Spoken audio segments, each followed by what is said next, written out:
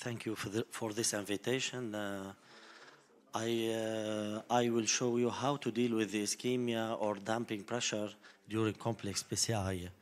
It is a topic which not was uh, not treated frequently in the uh, in the review of literature. So I uh, will show uh, some uh, tips and tricks to to show how to deal with this. I have no conflicts of interest to disclose concerning this presentation. Damping pressure can be defined as a significant uh, decrease in the aortic pressure of the aortic root occurring when the catheter is placed in the coronary ostium accompanied with the disappearance of systolic and uh, diastolic waveforms, which means that there is no antegrade flow in the, in the, into the artery and, the, and that the area fed by the relevant artery cannot get blood. So during damping pressure, severe obstruction at the end at, at the distal end of the catheter produce, produces a flow limitation sufficient to decrease volumetric displacement of the fluid filled pressure system, resulting in a diminution of its natural frequency and thus preventing all of the harmonics of wave propagation from being detected. Consequently, the normal arterial wave pattern is distorted with a narrow pulse pressure and a delayed upstroke and downstroke. So during damping, uh, uh, when uh, damping pressure, when the outer diameter of the catheter is larger than the ostial diameter, or when the tip of the catheter is pressed against the vessel wall, the coronary ostium may be narrow due to a lesion or the patient's artery may be anatomically thin. This is a, di a diagram uh, of a continuous recording uh, of an electrocardiogram um, that and the catheter tip pressure during coronary angiography showing the pressure wave damping, not the abstract decline of uh, coronary pressure with narrow pulses, uh, pulse pressure and a delayed upstroke and downstroke fluid. And this is uh, the first tip that the, uh, here we can show that the coronary, catheter pressure returns back to ba baseline uh, on an immediate pullback of the catheter following damping. Uh, three types of damping pressures, underdamped, uh, optimally damped, and overdamped pressure.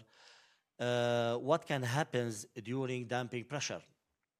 We can have a complications which, uh, which can be like ischemic changes, coronary spasm, catheter instability, arrhythmia, ventricular fibrillation, hemodynamic instability, and dissection in the proximal part of the coronary artery, and we can have thrombus formation.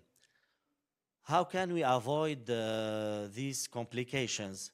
Small tips and tricks from uh, the review of literature especially the use of a side, uh, side hole catheter like Expressman guiding catheter, extension catheter.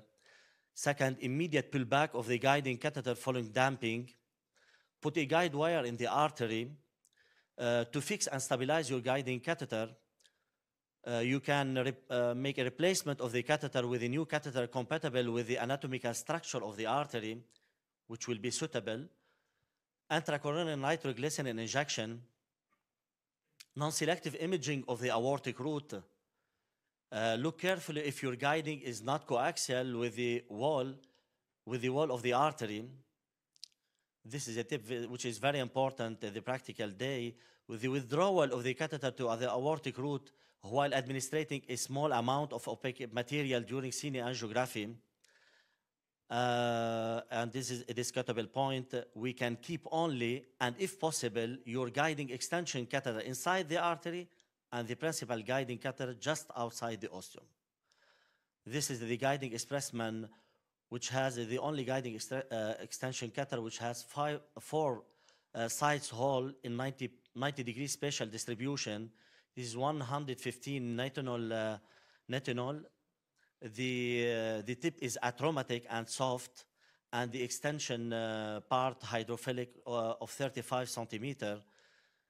This guiding extension catheter with side holes to provide antegrade blood flow and in coronary artery during PCI and to maintain param hemodynamic parameters during all of the procedure. It is one of the longest rapid exchange section in the market with 35 centimeter, which can facilitate stent delivery across a long lesion, keep the entry port uh, not in the great arch, not or nor in uh, subclavian artery, and uh, it can reduce uh, resistance during delivery. These are the three uh, uh, simple features of this guiding catheter. It is 115 centimeter nitinol shaft, which can help in the flexibility and pushability inside the artery. Hydrophilic coating, 35 centimeter long, which can reduce resistance when advancing it in tortuous anatomy. And its tip is uh, soft, so we can locate it in the artery easily. Uh, comparative between Expressman 5 French and 6 French. Uh, the 5 French extension guided catheter, it goes with the balloons until uh, 4 millimeter, stents wi- until 4 millimeter diameter, 1.25 uh, burr for rotablation, and uh, 2.75 uh, millimeter uh, diameter for cutting balloons inside guiding catheter 6 French. For the Expressman 6 French, we can use all balloons, all stents, diameter for coronary, 1.5 millimeter burr, all cutting balloons inside 7 French guiding catheter. catheter. Here we can show the, the comparison between Expressman with the Guidezilla and uh, telescope guideliner. It is the only one with nitinol, which can help easily to navigate in the, in the artery. The other guiding extensions are stainless steel. The extension length is uh, 35 centimeter, hydrophilic, and it is the only one with four side holes to maintain uh, pressures during long procedures. So the expressman easy to enter and navigate inside the coronary, no damping pressure, less risk of thrombosis, less risk of hydraulic dissection, and less risk of strut damage when recrossing the stent. I will show you two cases uh, how to manage, uh, how to to uh, to use, to use a solution uh, during uh, complex PCI with uh, with this uh, guiding extension catheter here. A long lesion of uh, RCA CTO, and we can look that the and we can look that.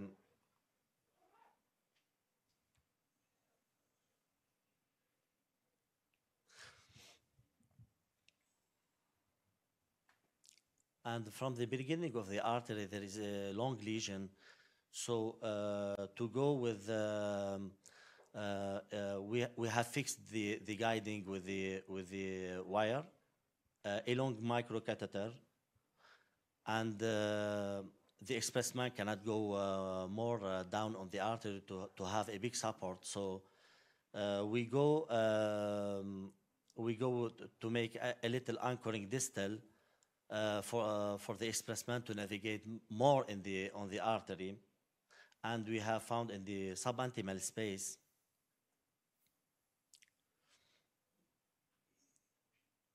So we cannot uh, uh, all of the procedure uh, before putting the uh, the expressman. We have a damped pressure. We cannot navigate correctly. So uh, here we find the Gaia outside. Donc, on a, we are in the subintimal space. So we get a balloon anchoring distal for the expressman, and the moment of the deflation of the balloon, we push on the expressman to go back, uh, and uh, we can uh, look here that this expressman here in the mid of the RCA. So here we have a support. We pull back our uh, guiding principal catheter outside the ostium of the RCA to maintain all of the time the pressure, good pressure.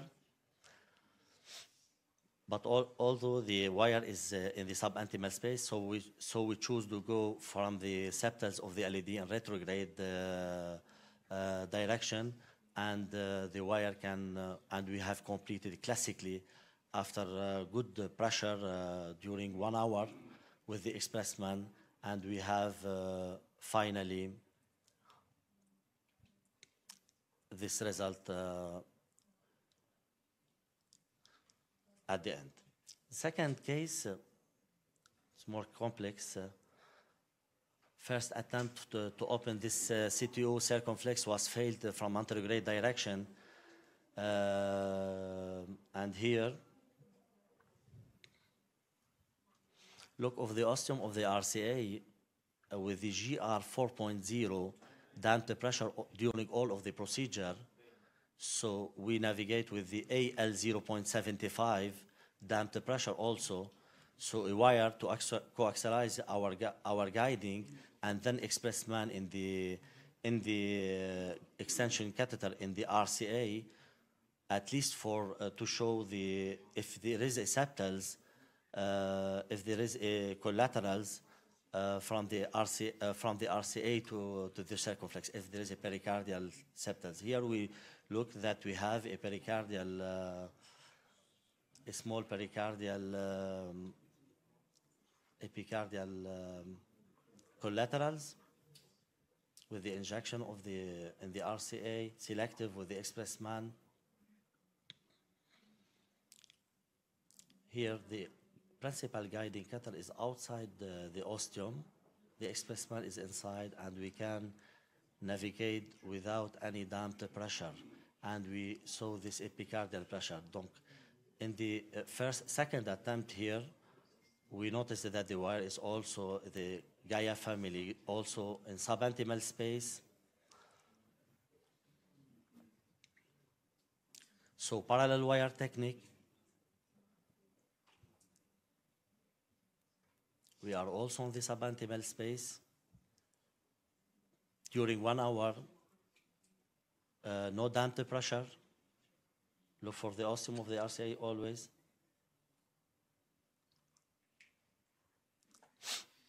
So here we have uh, noticed that the second wire of the Gaia also in the subintimal space.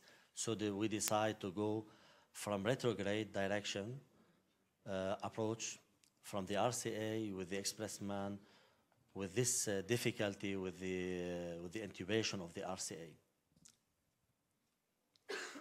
So a long procedure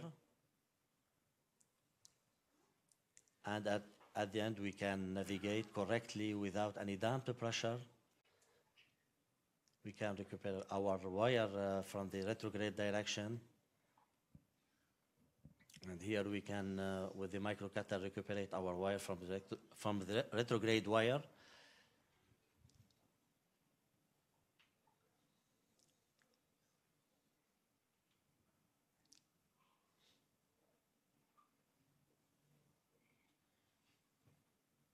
And here we can enter the wire, the microcatheter, and then classically, after we continue uh, from anterograde uh, approach, so putting a stent here,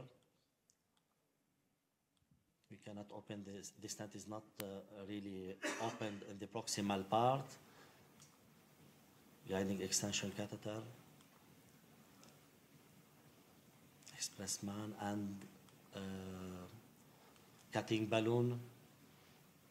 Cannot open the stent a waist in the stent and with the open balloon at 38 atmosphere we can open the stent and finally we obtain this result we complete the second stent in the in the mid uh, circumflex and this is the final result so um, my first conclusion during damping pressure, there is no antegrade flow into the artery and that the area fed by the relevant artery cannot get blood. Consequently, ischemic changes, coronary spasm, catheter instability, arrhythmia, hemodynamic instability, dissection, thrombus. So to avoid, do not hesitate to put a guide wire in the artery to stabilize your guiding catheter. Check the guiding coaxiality, withdrawal of the catheter to the aortic root, intracoronary nitroglycerin injection, non-selective imaging of the aortic root, catheter compatible with the anatomical structure, keep guiding extension catheter alone inside the artery if possible, use and do not forget side hole catheter expressman, which can provide antegrade flow and keep hemodynamic stability during all of the procedure. Thank you.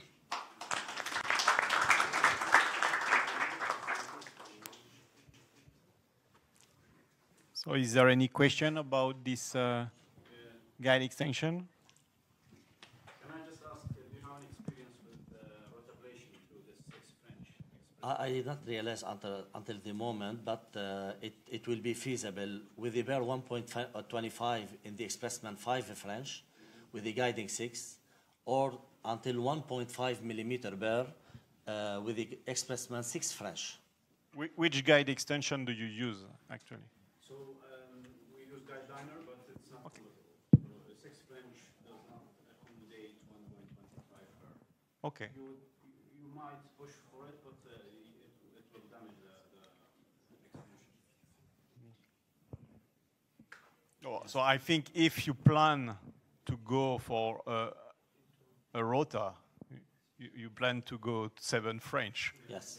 and then you, you, you have no problem to advance 1.25 and 1.5 also huh, in seven French uh, guide extension because Expressman is the same inner size than the guide liner.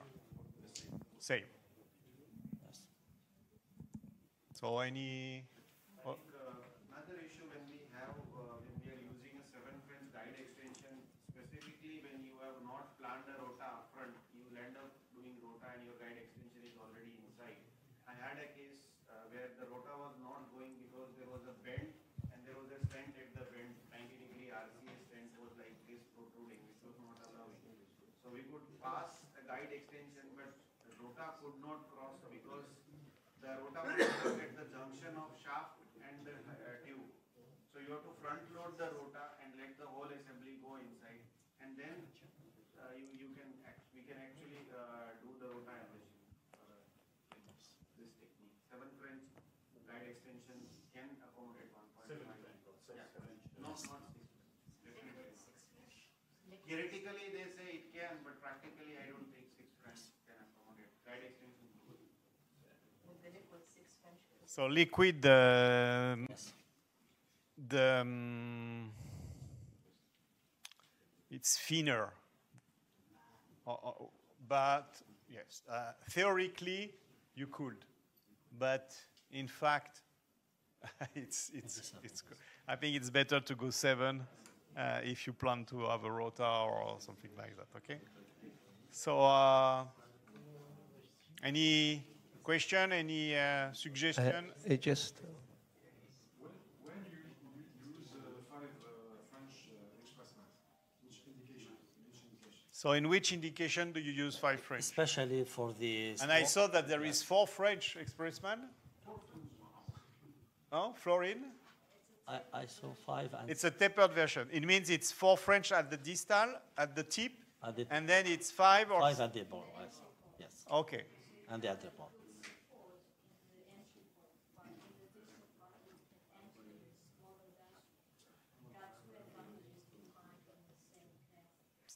So indication is to reach some uh, really uh, s- distal parts. Yes. So as much as your uh, procedure is complex, you must go with the big uh, guiding catheter.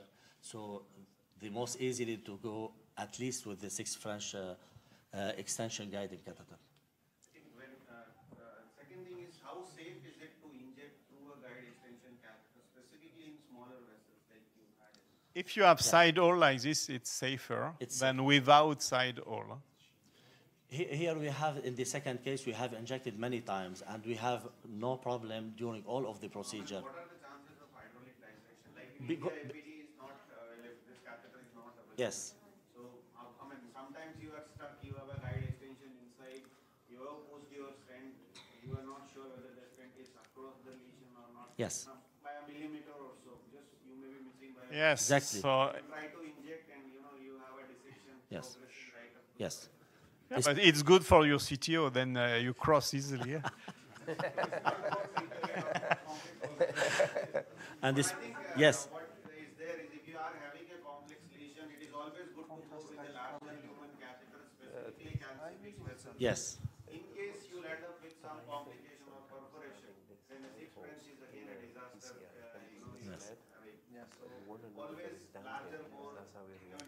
Yes. guns sets in And it, and especially you must, you must minimize your volume of, of injection. So no, uh, when, you, we, when we inject, we, we put two milliliter uh, to, uh, to volume to, to rest safe uh, when you can inject on antegrade way. I tell you why, uh, the one indication we have used that Florian is, uh, knows about it. Uh, I've used it when we use a TAVI. When we do valve and valve with the left main protection, we use the Expressman because of the side hole. So, because sometimes if you have the old uh, trifecta valves, they usually have big leaflets so they can block your left main stem. So, to do their chimney, and they're really quite good because it will keep the flow all the way through uh, into the, to, to the left coronary system or the right. So we've used it a few times using uh, this. It's, it, it's, it's different than the others because with the other ones, if you get damp, you have no flow in the coronaries at all. But you have to remember as well, damping is good because that tells you you are in trouble. So you need to, uh, to deal with that. So not all the time uh, damping is a bad thing. And again, uh, this is again a controversial thing to, uh, dis I mean, some people uh, will always support using a side holes, and there will be other people who would, you know, be very much against use of side hole. Japanese usually they will use side hole in all the procedures we have seen, and uh, sometimes people say, you know, side holes will give you a false sense of security sometimes. The corneries are not perfused, and you don't know that corneries are not perfused. So what is the opinion of the house uh, regarding use of? I'm a Japanese in this way. I mean, wou- wouldn't it give a false sense of security because uh, would it really perfuse the side hole? Yes. And second thing, what about the contrast, uh, extra contrast those we are, and sometimes you will have your wires, you know, going through that side hole and dangling in the water, all those corners. No, no. Uh, Ostial RCA or uh, like you are having a, using a donor, not in the recipient, you have a donor which is damping, and then you are using a side hole. Would it not be a really disastrous situation? You are using a side hole catheter in a donor artery, you don't know what is happening over there. No. The CTO, I mean, it, it doesn't really matter much. No. Uh, For C- the operator whether you For CTO, it's always a, a debate to know if we need to use side or not side. My personal way is for the left system, never, because the left main Yes. can accept seven French or eight French. Yes. But for the right coronary, sometimes uh, the diameter of the of the right coronary is sometimes can't accept seven French, and then in that situation, I will use side hole. Okay, so personally, for the right coronary, I use side hole. For the left, never.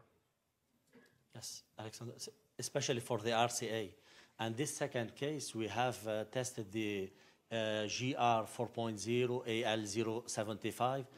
Uh, we cannot go, uh, we cannot uh, keep one minute without damping pressure. And we have failed two times from the antegrade uh, uh, approach. So here, the Expressman has a solution.